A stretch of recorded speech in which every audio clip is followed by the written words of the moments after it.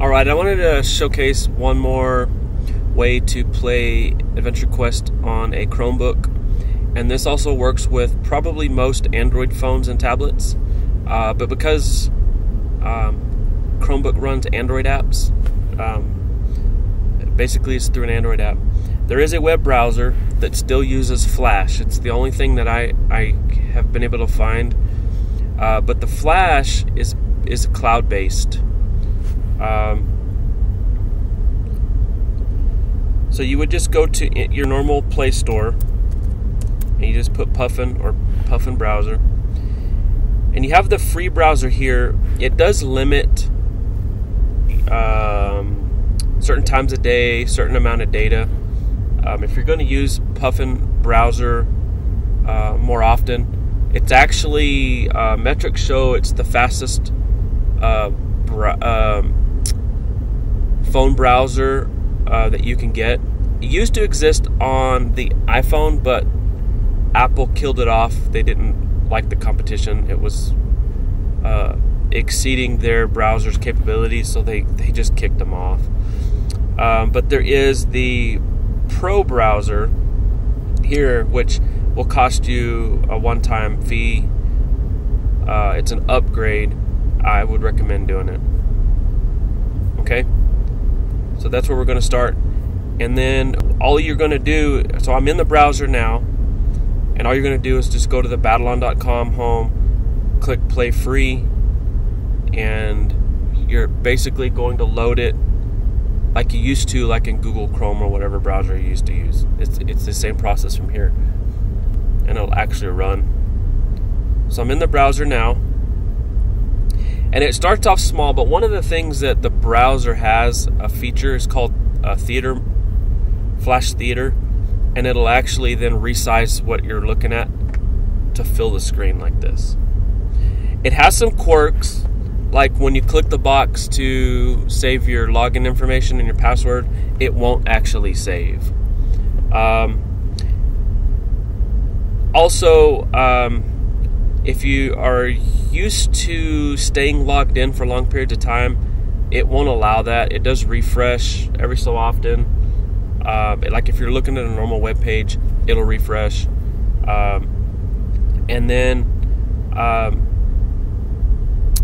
sometimes it'll resize back down to that previous size and you got to go back into flash theater and get it to resize again also it will not save any of this stuff here that you like like for example i don't like sound effects. I prefer this this and this.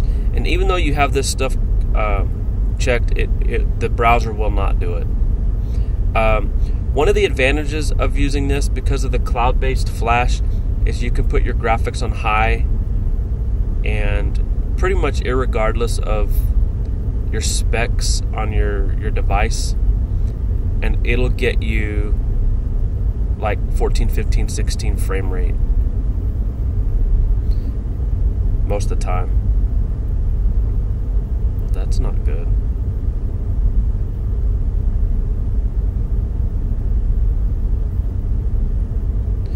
Um, it is a little bit clunky. It's not the best way to play, but if you're somebody who's sitting around with a phone or a tablet somewhere with internet connection, you don't have a laptop next to you, um, and you're not currently logged in uh, in another session, it'll let you do it.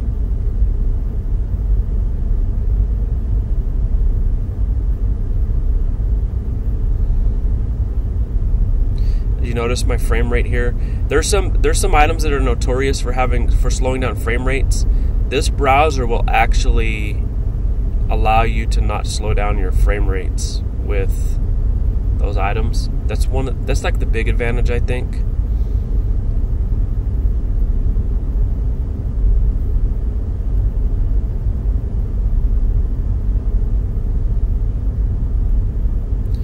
And then one other disadvantage too is the the cloud-based connection can sometimes be a little slower than some other times.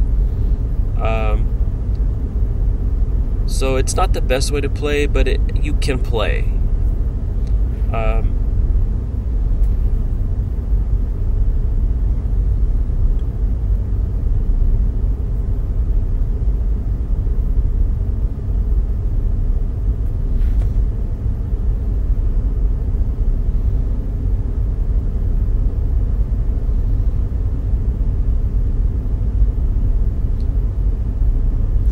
there is some little bit of hiccups. It it feels like the flash is like starts to slightly lag and then it tries to catch up.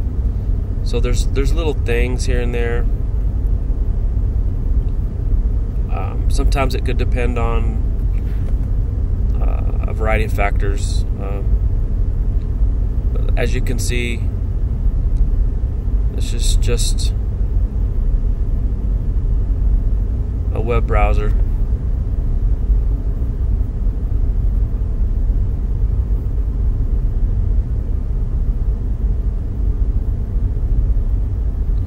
So you can um, change your flash quality here,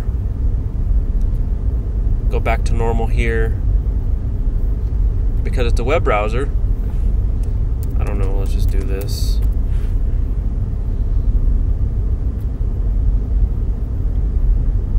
You know, like I said, it's just a web browser. Well, anyway, that that's uh, another way you can play. It's it's for um, some folks that uh, maybe they, they like to play with the tablet or um, maybe their Android phone, or it's just another way to play on a Chromebook.